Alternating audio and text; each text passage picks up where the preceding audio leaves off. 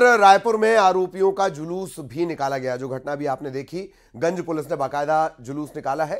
तो ये रंगदारी कर रहे थे, वीडियो बना रहे थे, मारपीट कर रहे थे। लेकिन कानून का लठ जब चलता है तो अच्छे अच्छों के चेहरे उतर जाते हैं।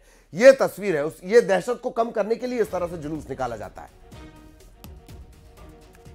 क्यों किया जो वीडियो एक आप आप जानते होंगे कि एक वीडियो सोशल मीडिया में काफ़ी वायरल हो रहा था, उस वीडियो पे स्वतः संज्ञान लेते हुए पुलिस ने मामले की तस्दीक करी। तस्दीक में पाया गया कि जो विक्टिम है उसके अंदर उसका नाम विजय साहू है और साथ ही साथ जो आरोपी है, उसका नाम दिनेश सोनी और उसके साथी कुछ थे। उन सभी को हमने घेराबंदी करके पकड़ा। पकड़ने के बाद में, क्योंकि उन लोगों ने गंज भट्टी से उनको अपहरण करके ले गए थे और साथ में उसके साथ में रॉन्ग रॉन्गफुल कन्फाइनमेंट भी किया था। एक्सटोर्शन की मांग भी कर रहे थे, इसलिए उनके खिलाफ तीन सौ तिरसठ, तीन सौ चौरासी, तीन सौ बयालीस और चौंतीस के अंतर्गत गंज पुलिस स्टेशन में एफआईआर दर्ज की गई है। साथ ही साथ रायपुर पुलिस का यह संदेश है कि अगर कोई भी ऐसा आपराधिक एलिमेंट ऐसी करने की कोशिश करेगा तो उसके अगेंस्ट बहुत कठोर कार्रवाई की जाएगी ताकि वो अगले बार से ऐसी कोई कोशिश कर ना पाए। ये दोनों अपराधी हैं इनका आपराधिक रिकॉर्ड भी रहा है? जो दिनेश सोनी उसके खिलाफ सात से आठ मामले अलग अलग थानों में इंदराज भी हैं।